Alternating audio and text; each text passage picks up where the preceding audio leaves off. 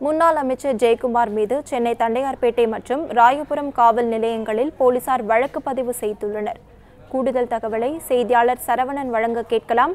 வணக்கம் சரவணன் தகவலை பதிவு பண்ணலாம்.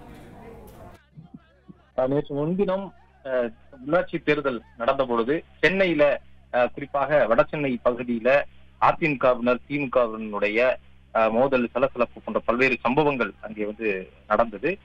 இந்த இது தொடர்பாக முன்னாள் அமைச்சர் ஜெயக்குமார் மற்றும் அதிமுகவினர் சேர்ந்து கல்மண்டபம் பகுதியில மிகப்பெரிய அளவுல சாலை மறியலிலும் வந்து ஈடுபட்டார்கள். ஒரு மணி நேரத்திற்கு மேலாக இந்த சாலை மறியல் வந்து நடந்தது. அதற்கு முன்பாக தண்டையார்பேட்டை காவல் நிலைய எல்லைக்குட்பட்ட பகுதியில சஞ்சீவராயன் கோயில் தெருவுல காமராஜன் மெட்ரிகுலேஷன் ஸ்கூல்ல அங்கே வந்து ஒரு வாக்குச்சாவடி அமைக்கப்பட்டிருந்தது. அந்த வாக்குச்சாவடியில் வெளிநபர் ஒருவர் அதாவது திமுகவை சேர்ந்த வெளிநபர் ஒருவர் வந்து உள்ளே வந்து விட்டதாக அதிமுகவினர் அவரை சுற்றி வளைத்து பிடித்ததும் அப்பொழுது அந்த இடத்துல முன்னாள் அமைச்சர் ஜெயக்குமார் இருந்தார். அப்பொழுது அந்த நபரை திமுகவை சேர்ந்த அந்த நபரை வந்து சட்டையை அவருடைய சட்டையை கழற்றி வந்து அரை நிர்வாணமாக சாலையிலே வந்து அடித்து இழுத்து சொல்வது போன்ற வீடியோவும் வெளியாகியது. இந்த வீடியோவை முன்னாள் அமைச்சர் ஜெயக்குமார் தனது முகநூல் பக்கத்திலும் அதை வந்து பகிர்ந்திருந்தார். இதற்கு சமூக வலைதள கடுமையான கண்டனங்களும் வந்து அஹ், வந்து எழுப்பப்பட்டிருந்தது.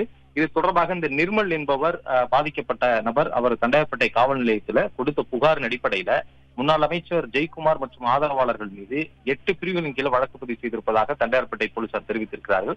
சட்டவிரோதமாக கூடி கலகம் செய்தல் பயங்கரமான ஆயுதங்களை வைத்திருத்தல் கொலை மிரட்டல் விடுத்தல் ஆபாசமாக பேசுவது தாக்குவது போன்ற அஹ், பல்வேறு அஹ், இந்த சட்டப்பிரிவுகள் வந்து சேர்க்கப்பட்டிருக்கிறது. இதை தொடர்ந்து அவர் கல்மண்டபம் பகுதியில வந்து ராயபுரம் காவல் நிலைய எல்லைக்குட்பட்ட கல்மண்டபம் பகுதியில வந்து போராட்டத்தில் ஈடுபட்டார். அதிமுகவினர் பலரும் வந்து கலந்து கொண்டார்கள்.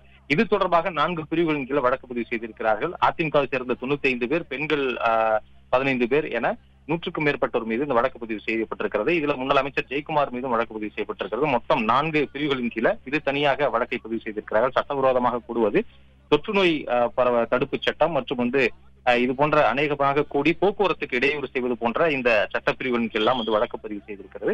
இரண்டு தனித்தனி காவல் நிலையங்கள்ல முன்னாள் அமைச்சர் ஜெய்குமார் மீது பதிவு செய்யப்பட்ட வழக்குகள் தொடர்பாக காவல்துறையினர் விசாரணை நடத்தி வருவதாக தெரிவித்துள்ளனர். தகவலுக்கு நன்றி சரவணன்.